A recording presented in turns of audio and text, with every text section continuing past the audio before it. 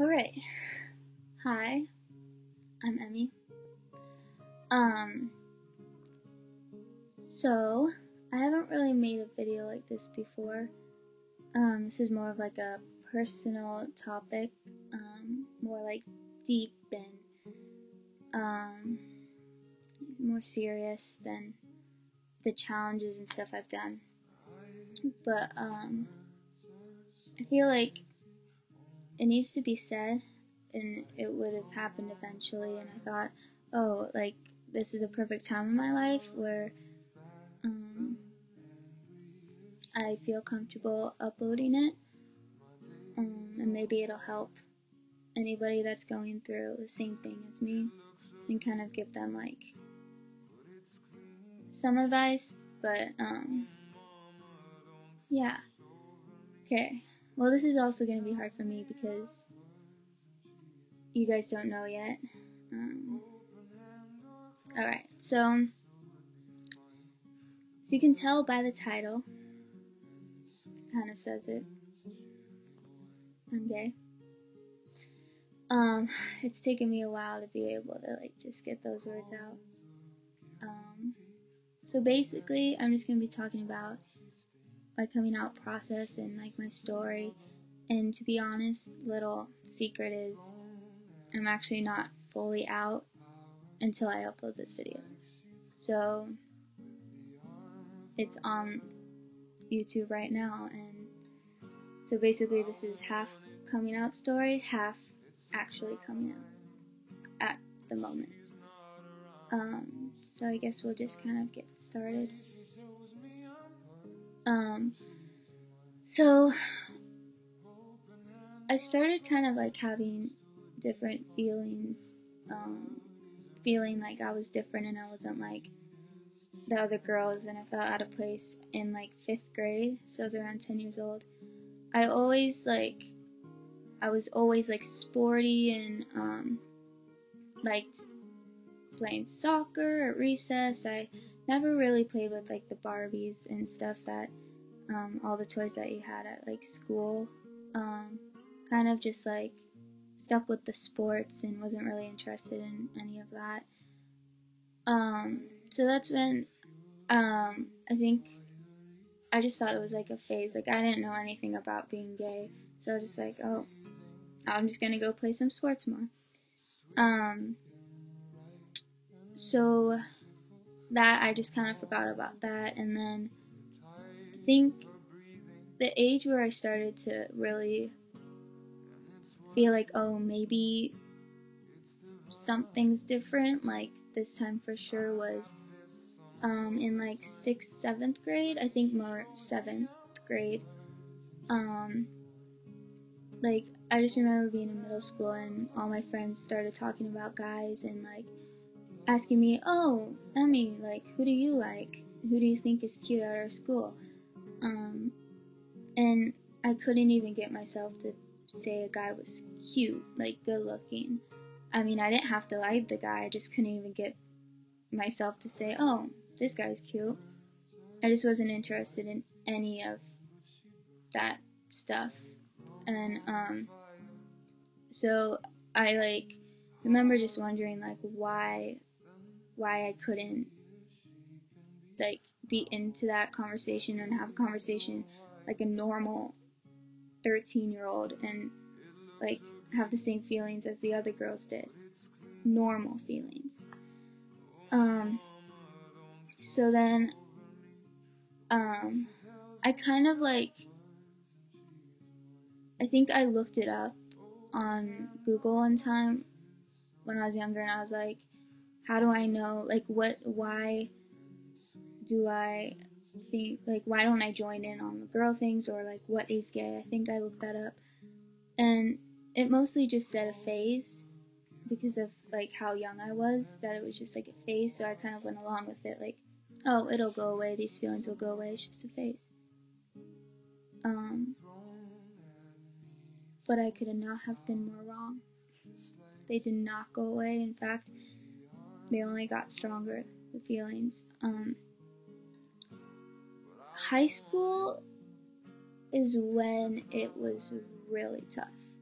everything went downhill. My emotions, um, my like the way I thought mentally, um, schoolwork, just everything crashed down. It wasn't a really good time for me.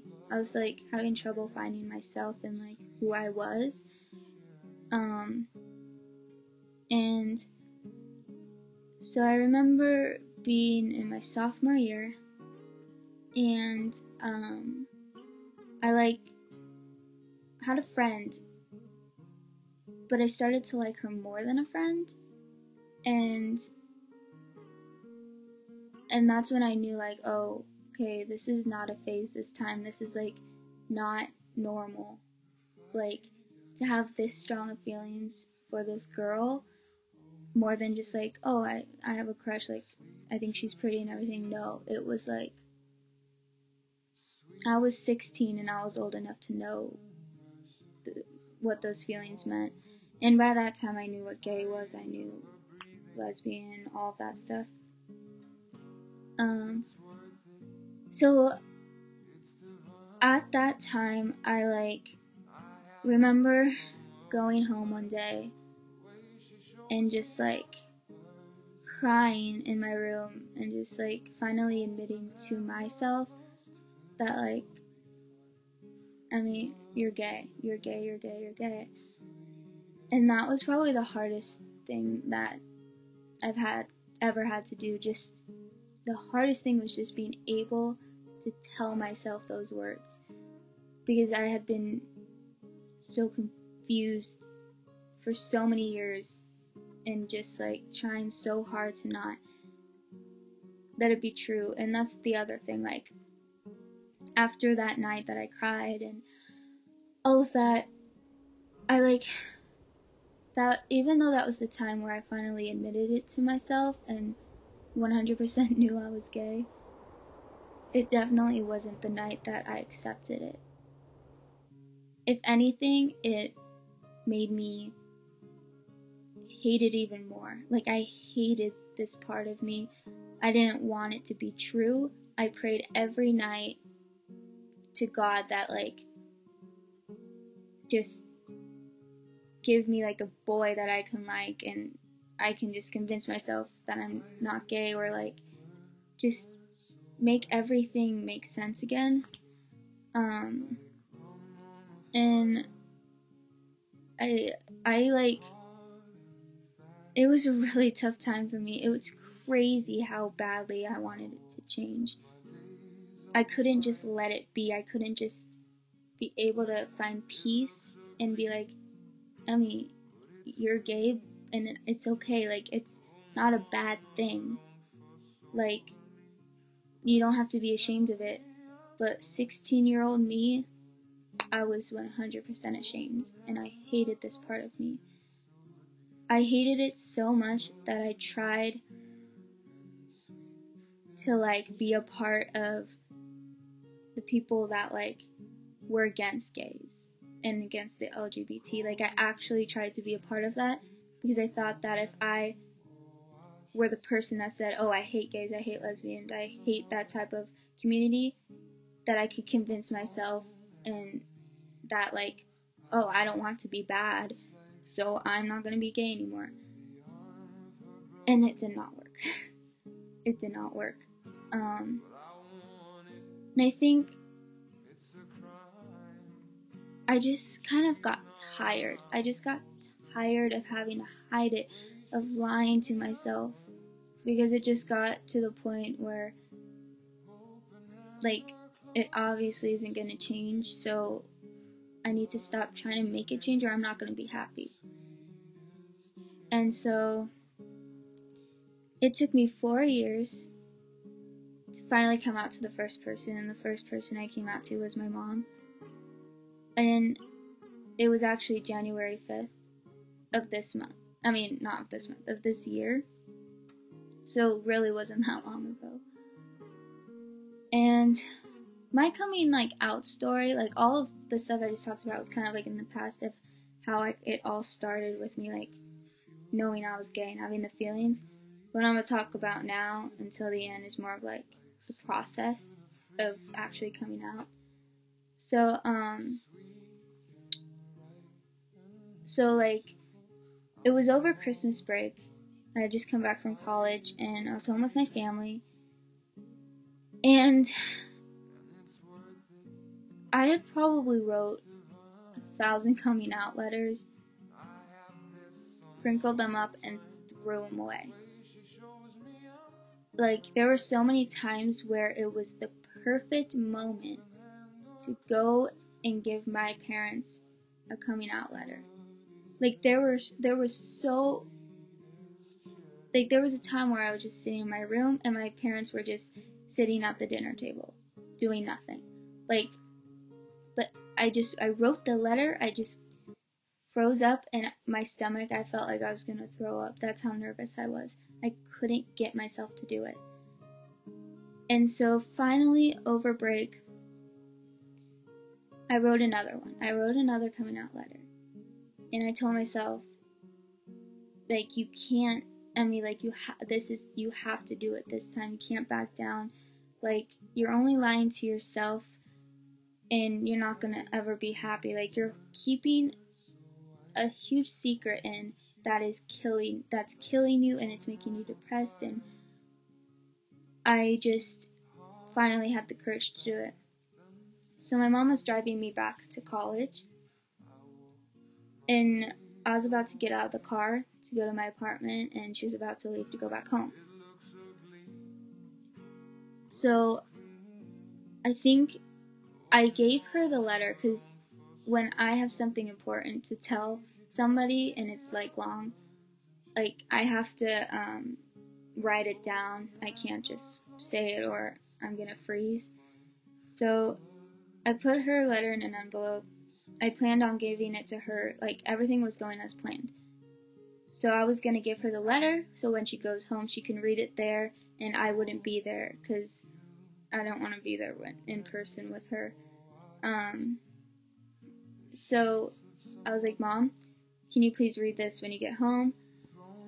And she was like, oh, what is it? And I was like, oh, it's just like something I need to tell you. It's like something personal, but please just read it when you get home. And she's like, she kind of started to get upset because she's the type of mom that wants her kids to be able to tell her anything that like just anything. Like if i need help with something she wants me to be able to open up to her right away and not to hide anything. And there was a, it was like a long conversation in that car. I won't get into that, but finally we were both kind of emotional. And I was just like, okay, I'll read you the letter. So I read her the entire letter. And after that it was really really emotional. We were both crying. I was crying because of the fear and the relief put together. Um, she was crying because she was just like she accepts it 100%. She said she loves me no matter what. She'll always be there for me, um, which was a huge relief because that's what I was scared of. So that was good. We never really talked about it again after that for a little bit. Then I think a day later I told my sister and my dad, and they were both cool about it. Um, and this is where it's like Momo's this is the tough one. Um so after I told them it's been a good like month. Um and I started like coming out like slowly to person after person, like individually, huge gaps in between. Just cause like I was scared to just come out all together. Um, so I was trying to take baby steps. So I came out to my best friend. That went well. Everybody that I've come out to individually were so great about it. Um, so yeah, just few people at my school. And then this is the hard part because it didn't go as I wanted it to go. Like I wish I could have done it differently. Um, so I was in school. This was literally like a few days ago.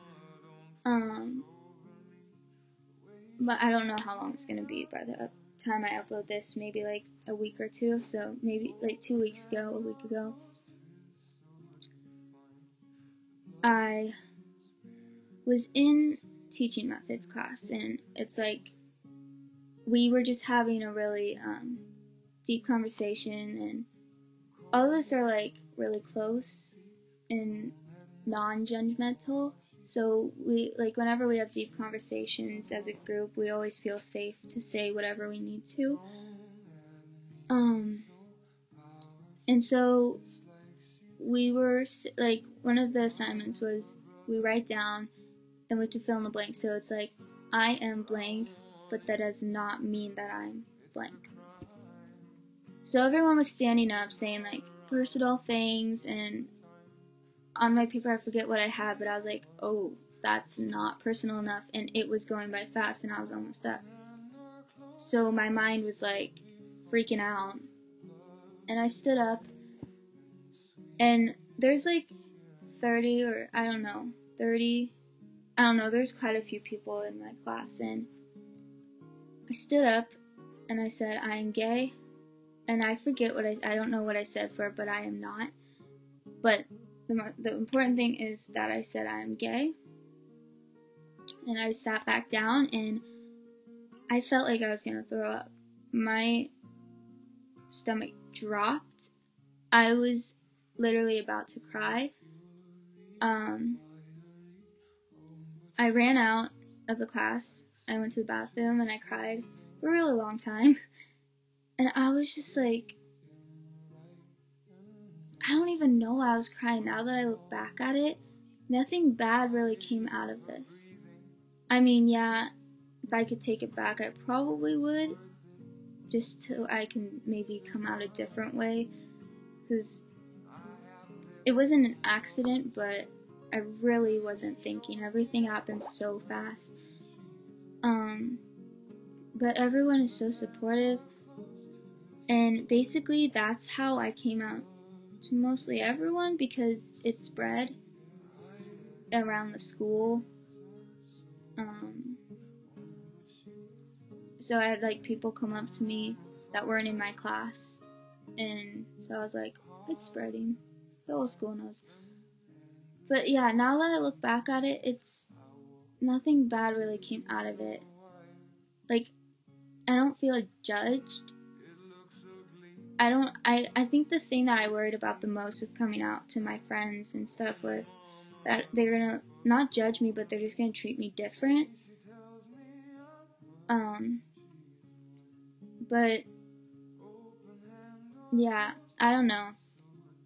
It's been, it's been great. Like there's like my secret that I've been hiding for since I was 10, all those feelings, since they're finally out and I'm not in like so much like pain and suffering having to deal with it myself. Now that it's like out, it's just like a huge relief and I don't have to worry about like oh, when am I gonna tell this person, or when am I gonna like, what is this person gonna think? Because everyone already freaking knows. Um, I mean, there's a few people that don't know, obviously, because they don't go to my school. Um, some family members don't know, but when I post this video, it's out. It's out in the open, and I'm doing this because I'm confident. I'm comfortable now, and I now accept who I am. Like, if you ever have a time where you've been out for like four years completely out, like it doesn't mean like even if you like accept yourself fully now and you're comfortable with who you are and you love yourself for the way you are, like there's still gonna be nights and times where you wish you could change something about it and that like maybe you think everything would be so much easier if I wasn't gay. And trust me, I've felt that. And it's like normal, you're human, like don't feel bad about thinking that. Um, I've learned I've learned that that like you shouldn't be ashamed to cry about it or to be upset about it. But I think what's keeping me going has made me so positive through all of this is like just the people I'm surrounded with and like the LGBT community. Like if you think about it, how big it is, how many people are involved in like going through the exact same thing as all of us. Like it's just crazy to me how much support there is. It outweighs all of the negativity that goes along with it. It really does. And I guess like I'm out. That's all I have to say is once this video is, is uploaded on YouTube, I'm officially out. And there won't be any turning back. But, um, yeah, so if you like this video, give it a thumbs up, subscribe, comment, comment what you think, and comment if you need any more advice or if you're struggling with something, let me know. If you had a great experience with coming out, let me know. Just comment whatever you want, and I'd really love to hear about your story and the different ways that you guys came out. Because it might help me. You never know. Like, I still need a ton of advice. I'm not even close to being like knowing everything. Um, so yeah, I hope you guys like this video.